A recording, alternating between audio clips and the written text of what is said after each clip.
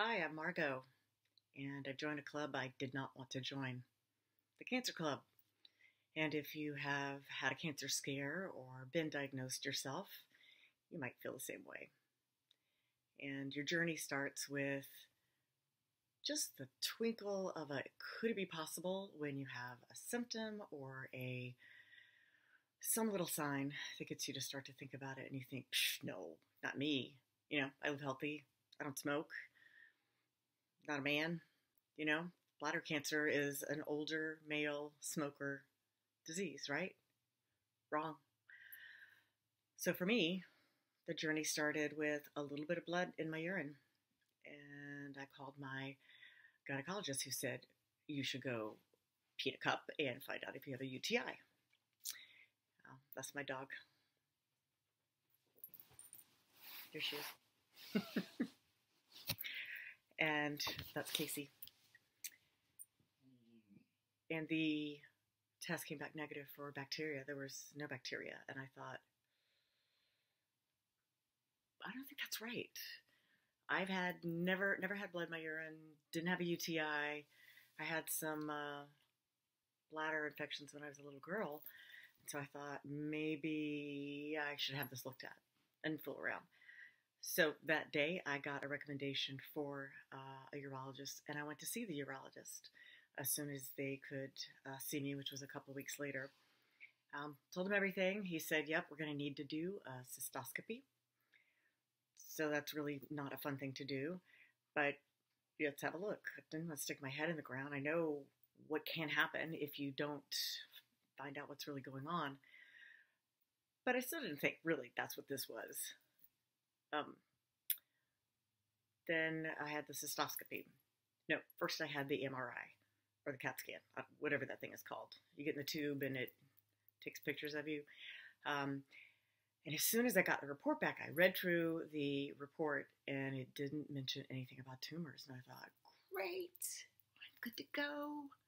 I do not have cancer.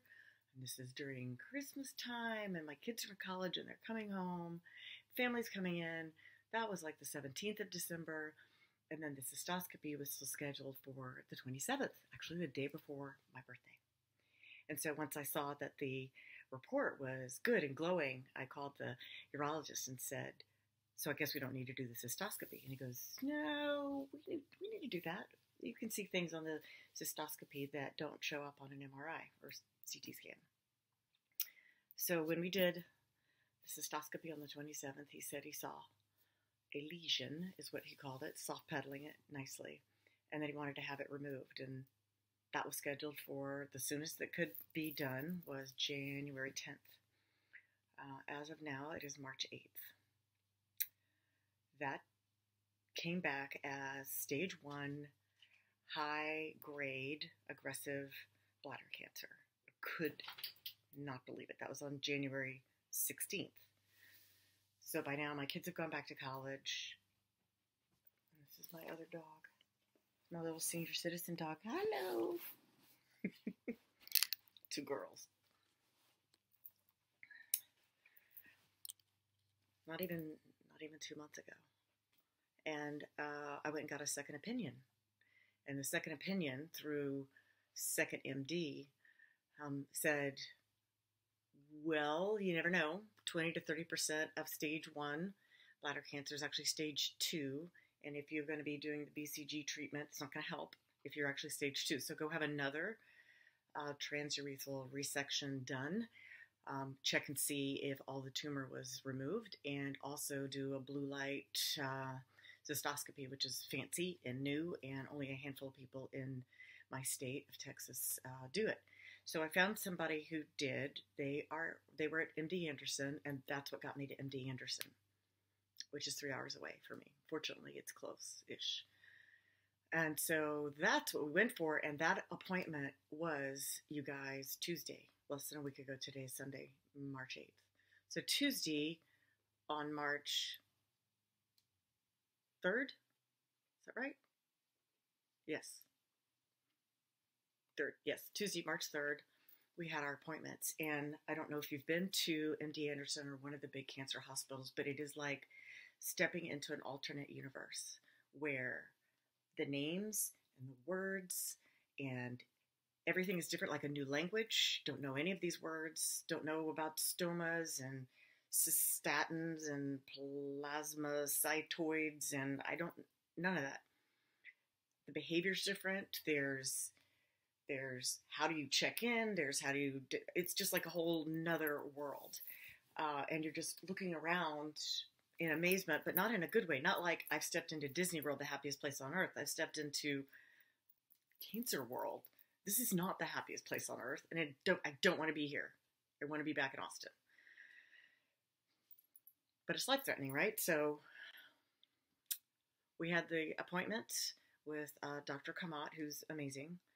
Um, and he said, Yeah, we looked at the same slides that um, your pathologist looked at in Austin. We looked at the same 22 slides from your um, pathology, I guess, the from the, yeah, the pathology uh, report. He said, But we saw something that uh, the locals did not. We saw this very rare additional form of cancer called plasmacytoid. And it is so rare, it's in the 1%. We see it 1% of the time great. This is not the 1% club I wanted to join. I want to be, I like to be the 1% with, you know, like really nice boats and house and, you know, lifestyle. That's the 1% I was sort of going for. Uh, but instead, I got this 1%. At any rate, uh, that is very deadly. And he told me, you cannot keep your bladder. Well, you can. If you kept it, you have 12 months to 18 months just I just turned 57. I'm healthy. I'm active. I have 19 year old and 21 year old kids. I have a new husband of three years. I have these great dogs you've already met. What? It just doesn't sink in. But you you keep listening, and and then finally, he tells you that what you have to do is have your bladder removed and probably chemo before that, and maybe a trial just shock is really the best way to describe it. That was Tuesday. Wednesday, I had the resection done, scheduled for two o'clock. Takes forever because you know they take the time they need to, so that when it's your turn, they take the time with you. So hard to wait. It's just my life. That's all. It's only my life on the line. No big deal.